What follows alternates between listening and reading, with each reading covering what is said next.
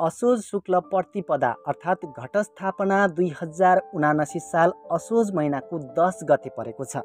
खास गरी आजको यस भिडियोमा हामीले घटस्थापना कसरी गर्ने कुन विधि र कुन विधानले हामीले घरमा जमरा राख्ने जमरा कसरी रोप्ने दुर्गा भगवान्लाई कसरी हामीले खुसी बनाउन सक्छौँ जसले गर्दा हाम्रो घरमा सधैँ सुख शान्ति र सन्तोष प्राप्त होस्।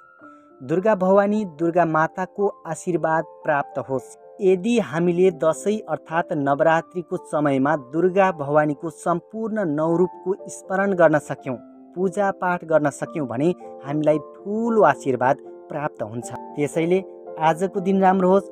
अब आउने हाम्रा सम्पूर्ण दिनहरू राम्रा हुन्। हामीलाई सधैँ दुर्गा भवानीको आशीर्वाद रहिरहोस् भन्नको लागि कमेन्टमा लेख्नुहोस् जय दुर्गा माता भनेर। यसो गर्नाले तपाईँको घरमा सधैँ दुर्गा माताको आशीर्वाद रहिरहनेछ। सर्वप्रथम त हिन्दूहरूको महान चाड विजया दशमीको सम्पूर्ण स्वदेश तथा विदेशमा रहनुहुने हिन्दू प्रिय नेपाली दाजुभाइ तथा दिदीबहिनीहरूमा मनका हर इच्छा चाहना पुरा हुन् सुख शान्ति र समृद्धि प्राप्त होस्। जमराको अङ्कुरासरी यहाँको जीवनमा पनि हर सफलताको प्रगति हुँदै जाओस् भनी हार्दिक मङ्गलमय शुभकामना व्यक्त गर्दछौँ। दुई हजार उनासी साल असोज महिनाको दस गते घटस्थापनासँगै दसैँ हाम्रो घरमा प्रवेश गरिसकेको छ। घटस्थापना अर्थात् नवरात्रिको पहिलो दिनको सम्पूर्ण दर्शकवृन्दलाई हार्दिक मङ्गलमय शुभकामना छ। जमरा अर्थात् जौको जीवनसँग सम्बन्धित रहेको छ घटस्थापना। माटो पानी हावा फुल र अङ्कुरासँगै जुटेको यो संस्कारले हामी वनस्पतिसँग अत्यन्तै नजिक छौँ भन्ने कुरा पनि स्पष्ट पार्दछ। जमरालाई संस्कृतिको मौलिक धरोहर मानिन्छ। घटस्थापना अर्थात् नवरात्रिको पहिलो दिनबाट देशका सम्पूर्ण नवदुर्गा भगवतीका शक्तिपीठहरूमा श्रद्धालुहरूको भिड हुने गर्दछ। टिका जमरासँगै मान्यजनबाट पाएको आशिषसँगै जीवनमा खुसियाली प्राप्त हुने गर्दछ। टिका र जमराले दसैँको रौनकता बढाउने गर्दछ। जमरा सामूहिक रूपमा दसैँ घर स्थापना गरेर गुठी या शक्तिपीठ अनि मठ मन्दिरमा तथा आफ्नै घरको परिवारको सङ्ख्या अनुसार पनि राख्ने गरिन्छ। घरको पूजा कक्षमा वा सफा र अँधेरो ठाउँमा जमरा राख्ने गरिन्छ। जौँ हाम्रो पवित्र खाद्य वस्तु हो। जौँ तुलसी कुश र तिल बिना सङ्कल्प पनि पूर्ण हुँदैन। त्यसै गरी जौमा एन्टिअक्सिडेन्ट र बिटा क्यारोटिन लगायतका तत्त्व पनि पाइने गर्दछ। दुर्गा भवानीको प्रिय पनि मानिन्छ जौँ अर्थात् जमरालाई। अबको पालोमा भने हामीले जमरा कसरी राख्ने र घटस्थापना कसरी गर्ने त यही विषयमा जानकारी दिँदैछौँ। यस दिनमा विधिवत रूपमा जमरा राख्नको लागि त्यसै गरी घटस्थापना गर्नको लागि असोज शुक्ल प्रतिपदा अर्थात् असोज महिनाको दस गते घटस्थापनाको दिन बिहान उठेर शुद्ध स्नान गर्नुहोस् तपाईँले। त्यस पछाडि तपाईँले शुद्ध वस्त्रको धारण गर्नुहोस्।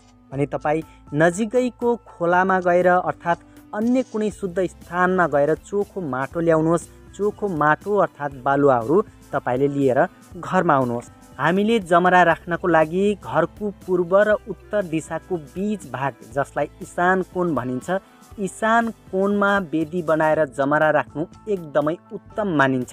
त्यसैले तपाईँले सम्भव भएसम्म इशान कोणमा जमरा राख्न सक्नुहुनेछ घरको पवित्र स्थानमा तपाईँले जमरा राख्न सक्नुहुनेछ। अब तपाईँले घटस्थापनाको लागि विधिपूर्वक घडा कलशको स्थापना गर्नुहोस्। तपाईँले दुबो चन्दन अक्षता फुल पुष्प बर पिपलको पात आदि चिजहरू तपाईँले कलशमा राख्न सक्नुहुनेछ। यसरी तपाईँले कलश स्थापना गरिसकेपछि तपाईँले गणेश भगवानको स्थापना गरेर पूजा गर्ने। त्यसपछि सम्पूर्ण देवताहरूलाई आह्वान गरी पूजन गर्ने सम्झने स्मरण गर्ने गर्नुहोस्। अनि भगवतीको प्रतिमा स्थापना गरी तपाईँले पूजन गर्न सक्नुहुनेछ। भगवतीको प्रतिमा स्थापना गरिसकेपछि तपाईँले मन्त्र उच्चारणको साथ पूजन गर्ने गर्नुहोस्। यदि तपाईँलाई मन्त्र उच्चारण गर्न आउँदैन भने भगवतीको गीत भजनहरू बजाएर तपाईँले भजनहरू बजाएर पनि तपाईँले पूजन गर्न सक्नुहुनेछ। त्यस पछाडि तपाईँले जुन जमरा राख्नको लागि वेदी बनाउनु भएको छ त्यस वेदीमा रेखी हाल्नुहोस्। मन्त्र उच्चारणको साथ अर्थात् भजनको साथमा जल छर्कने जलको सेचन गर्ने गर्नुहोस्। अनि दुर्गा भवानीको विशेष उपासना गर्नुपर्छ। हामीले यस समयमा मनमा सङ्कल्पहरू लिएर यी कार्य गर्नुपर्ने हुन्छ। त्यस पछाडि तपाईँले जौँ तिल मकै धान आदि मिसाएर जमरा राख्न सक्नुहुनेछ जमरा छर्कन सक्नुहुनेछ। यही जमराको छर्कनसँगै दसैँको नवरात्रि अर्थात् घटस्थापना सुरु हुने गर्दछ। तपाईँलाई र तपाईँको घर परिवारलाई दुर्गा माताको आशीर्वाद रहिरहोस्। विजया दशमीको हार्दिक मङ्गलमय शुभकामना छ। आजको यस भिडियोमा हामीले जमरा कसरी राख्ने विधिवत तरिकाले घटस्थापना कसरी गर्ने भन्ने विषयमा जानकारी दियौँ। तपाईँलाई हाम्रो जानकारी कस्तो लाग्यो जस्तो लाग्यो त्यस्तै कमेन्ट र प्रतिक्रिया दिनुहोस्। हामी यस्तै भिडियो लिएर सदाबाह उपस्थित हुनेछौँ। तबसम्मको लागि भिडियोलाई लाइक र च्यानललाई सब्सक्राइब गर्नुहोस्। अहिले भने बिदा हुन्छौँ। नमस्कार।